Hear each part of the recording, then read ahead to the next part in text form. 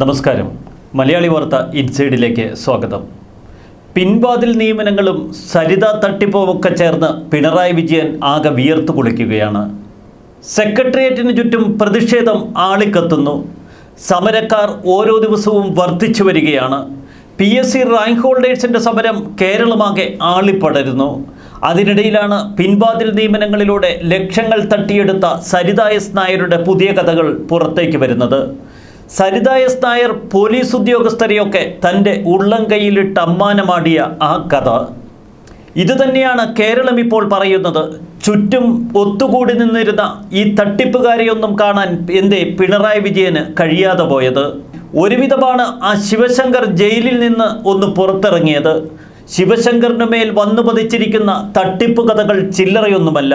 സ്വർണക്കള്ളക്കടത്ത് മുതൽ ഡോളർ കടത്ത് വരെ എല്ലാ ഇടപാടുകളും ശിവശങ്കറിന് മേലുണ്ട് രവീന്ദ്രനെ ചോദ്യം ചെയ്ത് പറഞ്ഞയച്ചുവെങ്കിലും ആ കേസന്വേഷണം ഇനിയും മുന്നോട്ട് പോകും എന്നാണ് അറിയാൻ കഴിയുന്നത്. പിണറായിക്ക് ചുറ്റും നിൽക്കുന്നത് തട്ടിപ്പുകാരുടെ ഒരു വലിയ സംഘം തന്നെ. അതിനിടയിലാണ് സരിത എസ് നായരുടെ പുതിയ കഥകൾ ഇപ്പോൾ ഒന്നൊന്നായി പുറത്തേക്ക് വരുന്നതും. സോളാർ പ്രതി സരിത എസ് നായർ വ്യാജരേഖ ഉപയോഗിച്ച് പിൻവാതിൽ നിയമനം നടത്തിയെന്ന കേസിൽ സരിതയ്ക്കെതിരെ കൂടുതൽ വെളിപ്പെടുത്തലുകൾ ഇപ്പോൾ കൂട്ടുപ്രതി തന്നെ നടത്തിയിരിക്കുകയാണ്. എല്ലാ തട്ടിപ്പുകളും നേരിട്ട് നടത്തിയത് സരിത തന്നെ. തൊഴിൽ തട്ടിപ്പിന്റെ മുഖ്യ ആസൂത്രക സരിതയാണെന്ന് ജാമ്യാപേക്ഷയിൽ കൂട്ടുപ്രതി പറയുന്നു. പണം കൈമാറിയത് സരിതയുടെ അക്കൗണ്ടിലേക്കാണ്. വ്യാജ നിയമന ഉത്തരവുകൾ നൽകിയത് സരിതയാണെന്നും ഒന്നാം പ്രതി രതീഷിന്റെ ജാമ്യാപേക്ഷയിൽ എടുത്തു പറയുന്നു. സി പി ഐയുടെ പഞ്ചായത്ത് അംഗമാണ് രതീഷ്. സരിത മൂന്ന് ലക്ഷം രൂപ തിരികെ നൽകിയതിന്റെ ചെക്കും മറ്റു രേഖകളുമൊക്കെ രതീഷ് കോടതിക്ക് മുന്നിൽ ഹാജരാക്കിയിട്ടുണ്ട്. നെയ്യാറ്റിൻകര സി ഐ ആയിരുന്ന ശ്രീകുമാർ ഈ കേസന്വേഷണത്തിൽ വലിയ വീഴ്ചയാണ് വരുത്തിയിരിക്കുന്നത്. സി ഐ ശ്രീകുമാർ ഒരു തരത്തിൽ പറഞ്ഞാൽ സരിത എസ് നായർ പറയുന്നതനുസരിച്ച് കാര്യങ്ങളൊക്കെ അങ്ങ് ചെയ്തു കൊടുത്തു. ശ്രീകുമാറിനിപ്പോൾ range D I G Sanjay Kumar Gurudeen കാരണം കാണിക്കൽ നോട്ടീസ് കൈമാറിയിട്ടുണ്ട്. നിയമസഭാ തെരഞ്ഞെടുപ്പിനോടനുബന്ധിച്ച് ശ്രീകുമാറിനെ കഴിഞ്ഞയാഴ്ച വെച്ചൂച്ചിറയിലേക്ക് സ്ഥലം മാറ്റിയിരുന്നു. പാർട്ടിക്ക് വേണ്ടി ശ്രീകുമാർ ബലിയാടാവുകയാണ് എന്ന് പോലീസിലെ ഒരു വിഭാഗം പറയുന്നു. ഇതിന് പിന്നിൽ കളിച്ചത് പാർട്ടിയിലെ ചില ഉന്നത നേതാക്കളാണ്. അവർ ഉന്നത പോലീസ് ഉദ്യോഗസ്ഥരുമായി കാര്യങ്ങൾ സംസാരിച്ച് ഇതൊക്കെ ഈ സി എയെ കൊണ്ട് ചെയ്യിപ്പിക്കുകയായിരുന്നു. സരിത എസ് നായരെ കൊണ്ടുള്ള രാഷ്ട്രീയ തന്നെയായിരുന്നു ഇതിന്റെ പിന്നിലുള്ള ലക്ഷ്യം. എന്നാൽ സരിത ഈ അവസരമങ്ങ് പരമാവധി മുതലാക്കി. സരിതയെ ഉപയോഗിക്കാൻ ഒരു വശത്ത് പാർട്ടിക്കാർ ശ്രമിച്ചപ്പോൾ മറുവശത്ത് സരിത പണമടിക്കാൻ ശ്രമിച്ചുവെന്നാണ് ഇപ്പോൾ തെളിവുകൾ കേരളത്തോട് പറയുന്നത്. ഇപ്പോൾ അന്വേഷണ ചുമതലയിലുള്ള നെയ്യാറ്റിൻകര സിഇയോട് ഈ കേസന്വേഷണം വേഗത്തിലാക്കാൻ ഉന്നത പോലീസ് ഉദ്യോഗസ്ഥർ ആവശ്യപ്പെട്ടിട്ടുണ്ട്. അവർക്ക് കാര്യമറിയാം. നിയമസഭാ തെരഞ്ഞെടുപ്പ് പടിവാതിൽക്കൽ എത്തി നിൽക്കുന്നു. അവസാന നിമിഷം പ്രതിപക്ഷം ഒരു മുഖ്യ ആയുധമാക്കാൻ ഇടയുണ്ട്.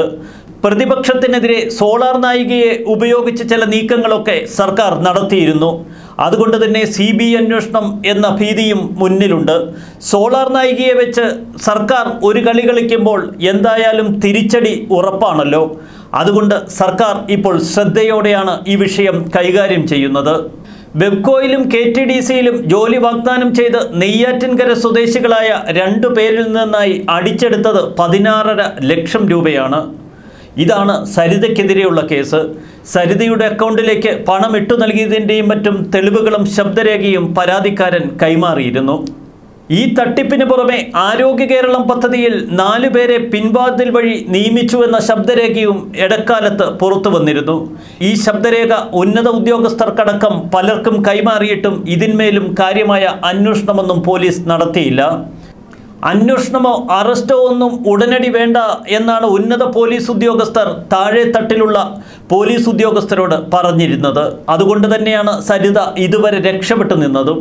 ഈ വരുന്ന തിങ്കളാഴ്ച കൂടുതൽ താൽക്കാലിക ജീവനക്കാരെ സ്ഥിരപ്പെടുത്താനുള്ള നീക്കവുമായി സർക്കാർ മുൻപോട്ട് തന്നെയാണ് കുതിക്കുന്നത്. ഇത് കൂടുതൽ വിവാദങ്ങൾ വിളിച്ചു വരുത്തുമെന്ന് സർക്കാരിന് അറിയാമെങ്കിലും പാർട്ടിയിൽ നിന്നുള്ള സമ്മർദ്ദം ചില്ലറയല്ല. പാർട്ടി പ്രവർത്തകരും പാർട്ടി പ്രവർത്തകരുടെ ബന്ധുക്കളുമൊക്കെയായ ഒരു കൂട്ടം ആളുകളുണ്ട്. താൽക്കാലിക ജോലി ചെയ്യുന്ന ഇവരെയൊക്കെ സ്ഥിരപ്പെടുത്താം എന്ന വാഗ്ദാനം സർക്കാരും പാർട്ടിയുമൊക്കെ ഇവർക്ക് നൽകിയിരുന്നു. ഈ അവസരത്തിൽ ഇവരെ കൈയൊഴിഞ്ഞാൽ അത് കൂടുതൽ വിനയാകും എന്ന് ഭരിക്കുന്നവർക്കും പാർട്ടിക്കാർക്കും അറിയാം. ഏകദേശം രണ്ടായിരത്തോളം താൽക്കാലിക ജോലിക്കാരെയാണ് ഇപ്പോൾ സ്ഥിരപ്പെടുത്തൽ പദ്ധതിയുമായി മുൻപോട്ട് പോകുന്നത്. ഇത് കൂടുതൽ വിമർശനങ്ങൾ വിളിച്ചു വരുത്തും എന്നതിൽ സംശയം വേണ്ട. ഹയർ സെക്കൻഡറി ലിസ്റ്റിൽ പന്തീരായിരം ഉദ്യോഗാർത്ഥികളാണ് റാങ്ക് പട്ടികയിലുള്ളത്. ഒഴിഞ്ഞു കിടക്കുന്നത് ആയിരക്കണക്കിന് തസ്തികകൾ. പട്ടികയിൽ നിന്ന് നൂറ് പേരിൽ താഴെ ആളുകൾക്ക് മാത്രമാണ് നിലവിൽ നിയമനം ലഭിച്ചിരിക്കുന്നത്.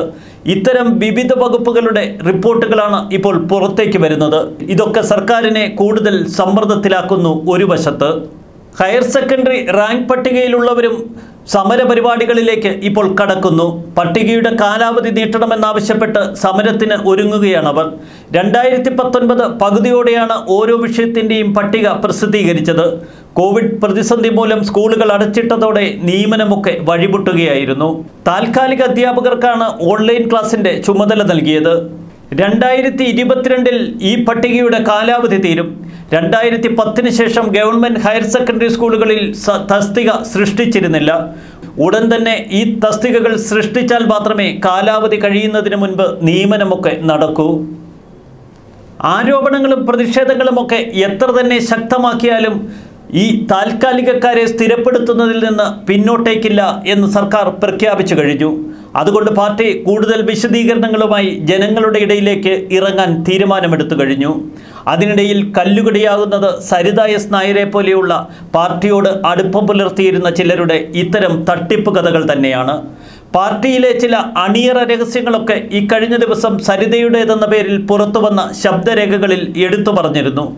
സരിത എസ് നായരുടെ വിശ്വാസ്യത നഷ്ടപ്പെടുന്നത് പൂർണമായും പ്രയോജനപ്പെടുക പ്രതിപക്ഷത്തിന് തന്നെ. അത് ഭരണപക്ഷത്തിന്റെ ആരോപണങ്ങളുടെ മുനിയൊടിക്കാൻ സഹായമാകും എന്നാണ് അവർ കരുതുന്നത്. എന്തായാലും സരിത ഈ സർക്കാരിനും വാരിക്കുഴി തീർക്കുന്നു എന്ന് വേണമെങ്കിൽ പറയാം. പിണറായി വിജയന്റെ ചുറ്റും കൂടിയിരിക്കുന്നവർ തന്നെയാണ് ഇത്തരം തട്ടിപ്പുകൾക്ക് നേതൃത്വം നൽകുന്നതും. സരിത എസ് നായർ ആ തട്ടിപ്പുകളുടെ മുൻപന്തിയിൽ നിൽക്കുക സ്വാഭാവികം മാത്രം. കഴിഞ്ഞ സർക്കാരിനെ വീഴിച്ച് ഇടതുപക്ഷ സർക്കാർ അധികാരത്തിൽ കയറിയതു തന്നെ ഈ സരിത എസ് നായരുടെ കഥകൾ നിരത്തിയായിരുന്നു. അതേ സരിത എസ് നായർ ഇപ്പോൾ ഒടുവിൽ ഈ സർക്കാരിനും വൻ കുഴിയാണ് തീർത്തിരിക്കുന്നത്. News desk Malayali Vartha insight